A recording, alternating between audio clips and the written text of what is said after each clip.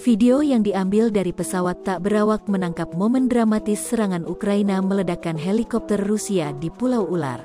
Rekaman yang diposting di media sosial menunjukkan helikopter Mi-8 Rusia dimusnahkan tepat saat pasukan turun. Video hitam putih diposting dari pandangan udara dan dimulai dengan menunjukkan helikopter di tanah. Pasukan Kremlin terlihat meninggalkan helikopter beberapa saat sebelum pesawat tak berawak TB-2 Ukraina menjatuhkan amunisi mereka. Rekaman video kemudian dipotong menjadi tembakan jarak jauh yang menunjukkan akibat ledakan dengan asap mengepul saat drone bergerak menjauh dari Pulau Ular. Belum diketahui apakah ada korban atau cedera dari ledakan itu.